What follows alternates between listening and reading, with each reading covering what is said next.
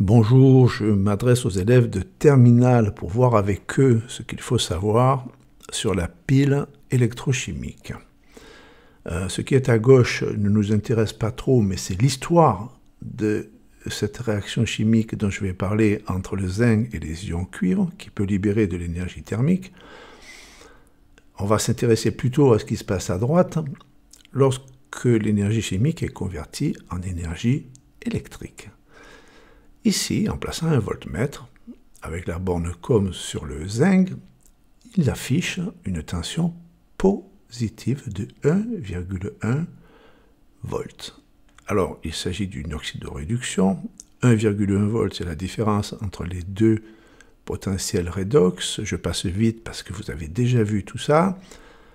Il y a autant d'électrons capturés que d'électrons fournis ici de sorte qu'aucun électron n'apparaît jamais dans l'équation bilan.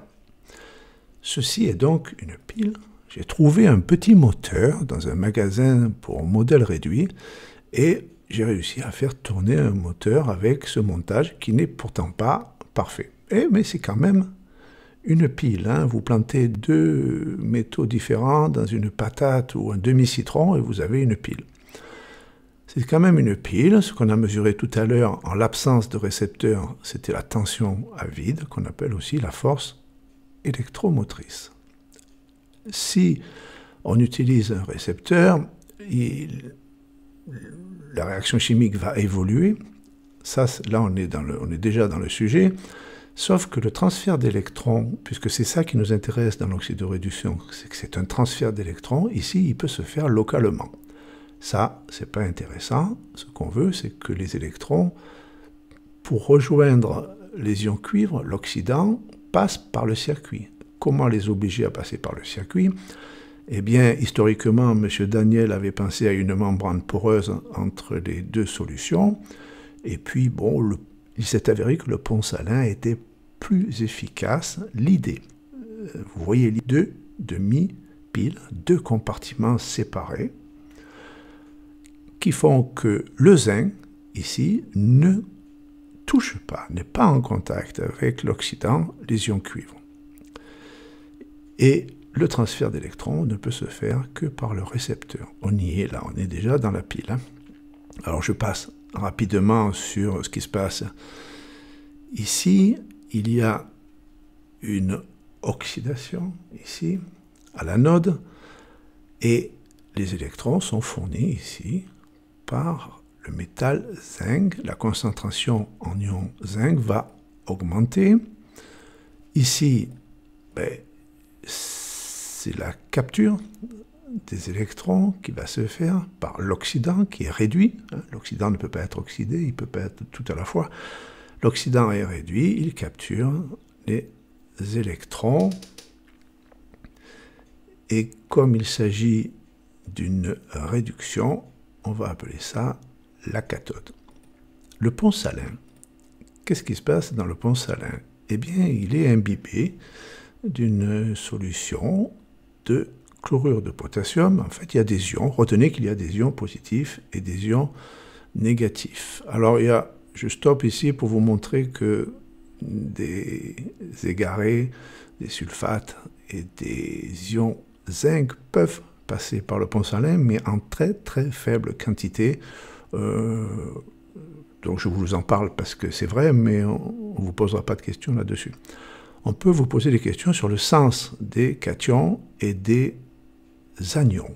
Comment réfléchir? Eh bien, il se trouve que les concentrations ici euh, évoluent, les ions cuivre vont être réduits, donc leur concentration va diminuer, mais la neutralité de la solution électrique doit être maintenue. Donc les charges positives ici seront apportées par les ions potassium. Hein. Les cations ici vont jouer ce rôle-là de conserver l'électroneutralité de la solution. Pareil de l'autre côté, comme les ions zinc vont voir leur concentration augmenter, il va y avoir un déficit en anion, en charge négative, et ce sont les ions chlorure qui vont compenser ici.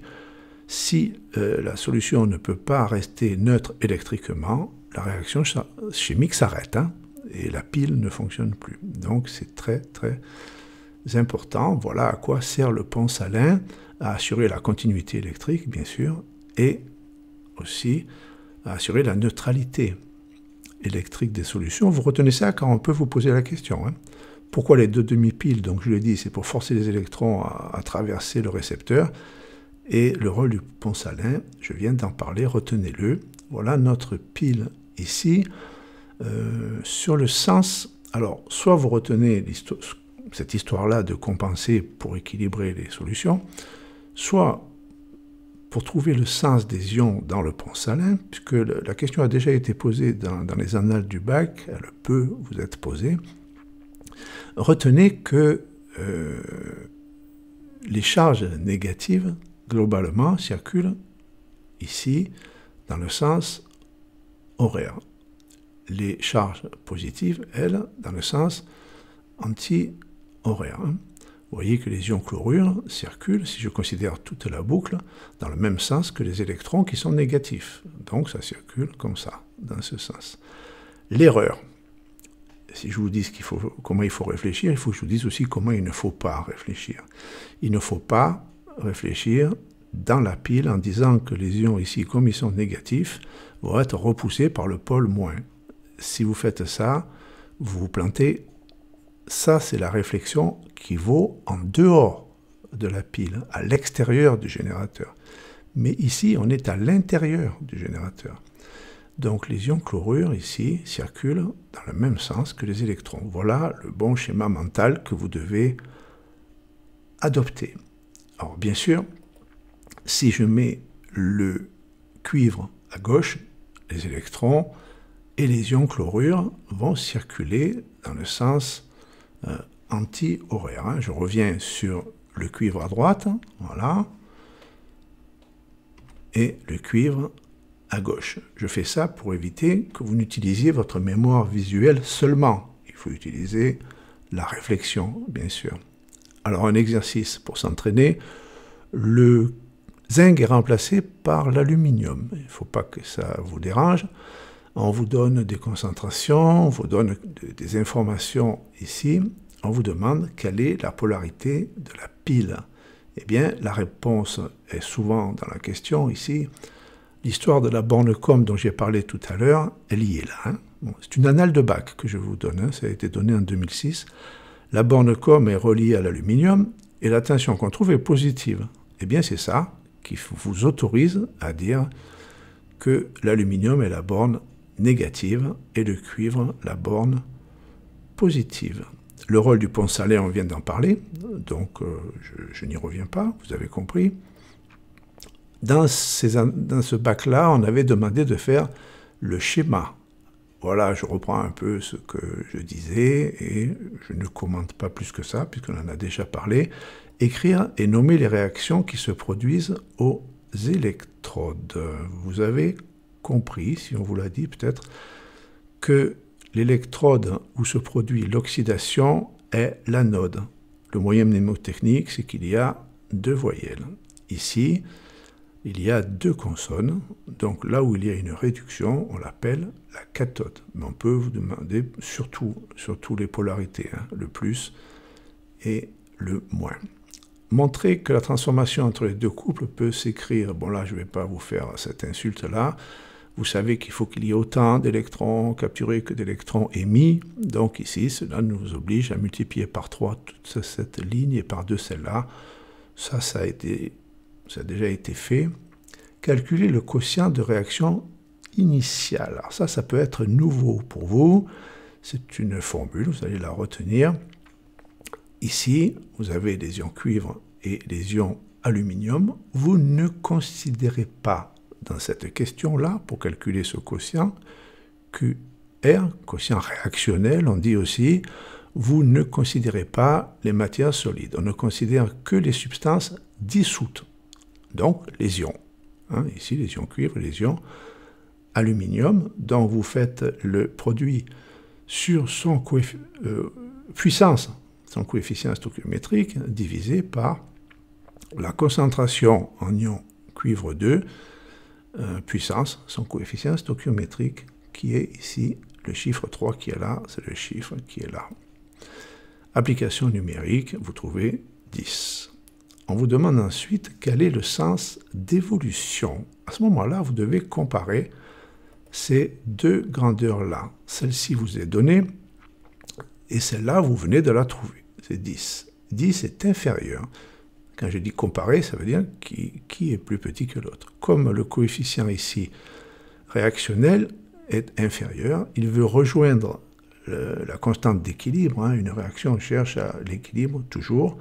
Et eh bien ici, l'évolution va se faire dans ce qu'on appelle le sens direct. Hein. l'évolution spontanée. Une une pile, c'est une réaction d'oxydoréduction spontanée. Je ne sais pas si vous avez déjà vu l'électrolyse, ou alors vous la verrez, et là, à ce moment-là, on parlera de, réaction forcée.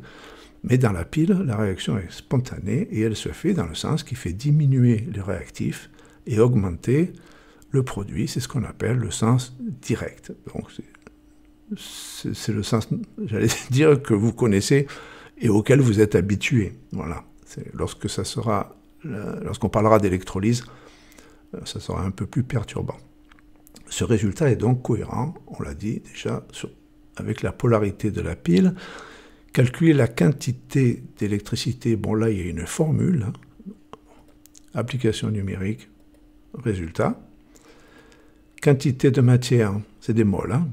Le N ici vous dit que c'est des moles. Ici, d'électrons échangés. Alors à ce moment-là, euh, vous avez une autre formule ici qui est Q égale NF, je vous rappelle que le Faraday, ça n'est jamais que le produit du nombre d'Avogadro par la charge électrique élémentaire d'un électron. Donc, hein. Ça, vous l'avez fait en cours, application numérique, résultat, donner une relation entre la quantité de matière d'électrons et celle d'aluminium.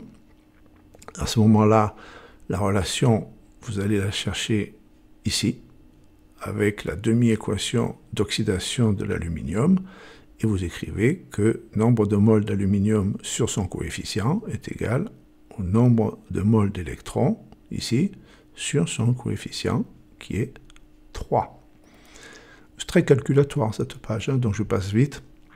Calculer la perte de masse de l'électrode d'aluminium pendant tout ce temps-là, ce fonctionnement de 1 heure et demie à 40 mA, eh bien, vous utilisez ce que vous avez déjà à votre disposition et on vous donne la masse molaire de l'aluminium dans l'énoncé. Elle est là, 27 hein, grammes par mol.